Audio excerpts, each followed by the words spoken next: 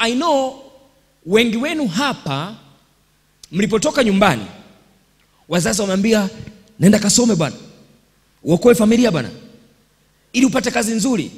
Tena kwa ndugu zetu wanachaga wanaambiwa usome ukakae TRA eh, na benki kuu unanielewa eh?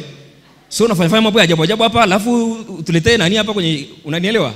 Kwa hiyo wengi tumeambiwa kwamba soma vizuri pata kazi ili uweze kuajiriwa upate kazi nzuri na wengi hapa niki ni chuo cha uhasibu si ndio? Kuna wachaga mpo? Eh asante sana kama iko. Kama eh so ndivyo tulivyoambiwa na wazazi wetu because that's what the ideal situation.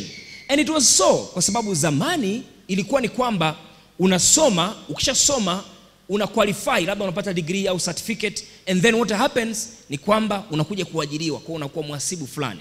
Baba yangu aliniambia wao wakati wanasoma hata kabla haja graduate analetewa barua ya kwenda kupata kazi. Lakini baadaye ikaja ikapotea hiyo.